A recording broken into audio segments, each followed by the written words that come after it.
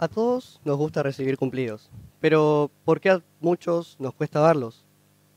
¿Será porque no conocemos a esa persona o porque nos da vergüenza? A todos nos gusta que nos digan cosas buenas, pero muchos no damos el primer paso. Por ejemplo, una vez, hace unos tres años, estaba en educación física, en una clase de vóley, y me estaba yendo pésimo, muy mal.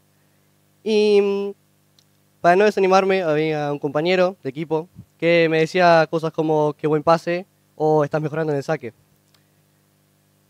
Igualmente perdimos, pero fue por otras cosas. Estos comentarios son los que, como en mi caso, eh, ayudan a la gente a no desmejorarse. Porque si nos ponemos a pensar, eh, ¿cómo puede una persona mejorar si siempre están remarcando las cosas en las que se equivoca y nunca le dicen lo que hace bien?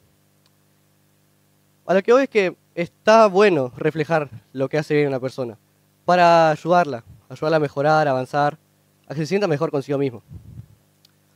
Pero ahora bien, también está la, la otra parte, la persona que recibe el cumplido puede pensar que lo estamos haciendo de joda o por cualquier otra cosa. Em, eso ya no está en nuestras manos, está en las manos de la otra persona ver cómo recibe nuestro cumplido.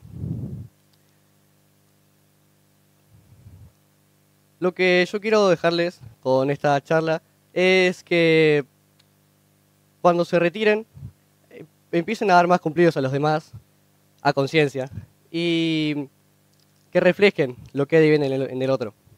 Y cuando reciban el cumplido, recibirlo de la, de la mejor manera posible. Muchas gracias.